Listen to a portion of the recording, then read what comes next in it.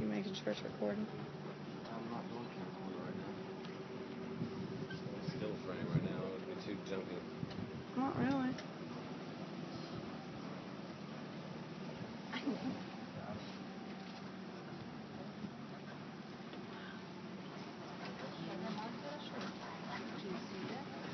That dude's